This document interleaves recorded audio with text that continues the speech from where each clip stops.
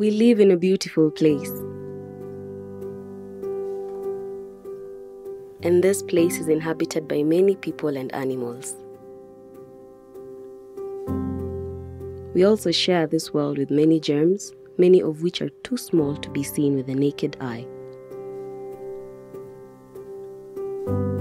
While many of these germs do not cause any disease, some can be harmful and can cause diseases. Humans and animals can get infected with these germs in many ways. They can be in the water that we drink, or in the water we use to wash and clean, like in the slaughterhouse. They can also be in the food we eat or in some of our animals. When these bad germs enter our body, they make us feel sick. Luckily, we have medicines that can fight off these germs and make us feel better.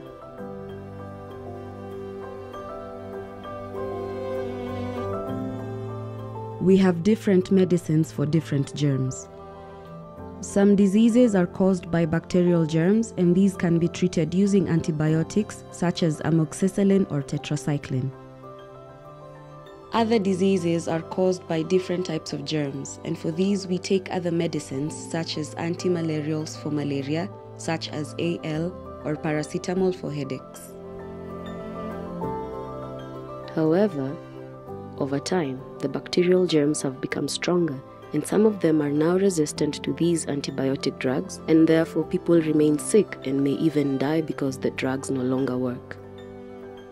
Bacterial germs become drug resistant when we do not complete all the medicine we were told to take as they get used to the drug. Or if we take medicines that were not prescribed to us by a doctor, as these might not be the right ones for the bacterial germs we have, or they may have even expired. Always check the expiry date.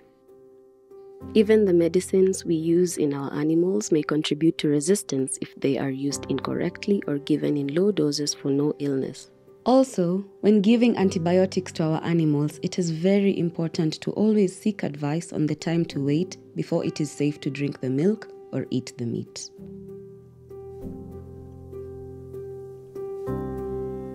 While drug resistance is already happening, there are steps we can take to reduce this.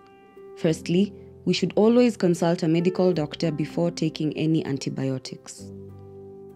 If the doctor prescribes antibiotics, we should buy them from an authorized chemist or pharmacy, and we should take the full dose as the doctor prescribed, even if we start to feel a lot better before having finished the full dose. If any medicines are left over or have expired, we should take them back to the chemist or agrovet where they can be disposed of properly. If not, these may end up in the water we drink or in the soil where our vegetables grow. We can reduce transmission of bacterial germs by washing our hands with soap and clean water for 30 seconds when possible, especially before eating and after visiting the toilet. When washing our hands, it's important to clean inside the palms, between the fingers, and under the nails.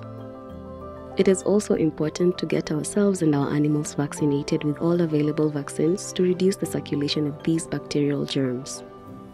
Antibiotics have saved many of us our parents, our grandparents, our spouses, and children. And now it's time we saved them so they can continue to save lives.